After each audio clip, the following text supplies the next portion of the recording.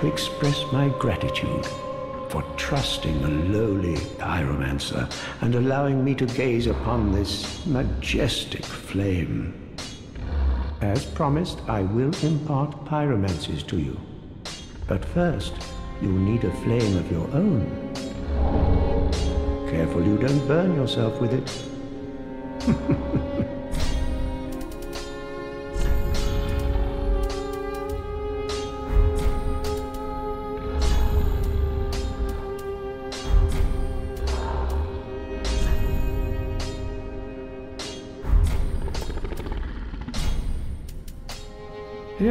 here we are. It's been long indeed. With this, I can teach you more sophisticated pyromancies. Splendid. I can boast I am your tutor a little longer. I'm afraid I cannot accept this. This pyromancy tome is dark and delves into the depths of men where an untouchable flame resides. I cannot comprehend this myself, let alone teach it to you. It is a spell forbidden in the Great Swamp, and nearly everywhere else too. Only one terribly afflicted or burdened by deep sorrow could begin to understand this. If you seek pyromancy tomes, take this sage advice.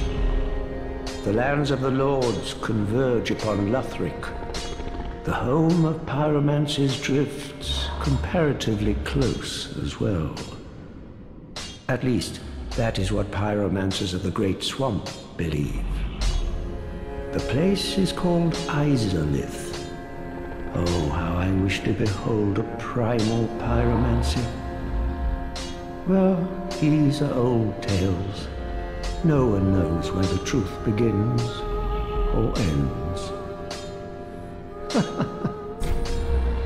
Do not be gone for long.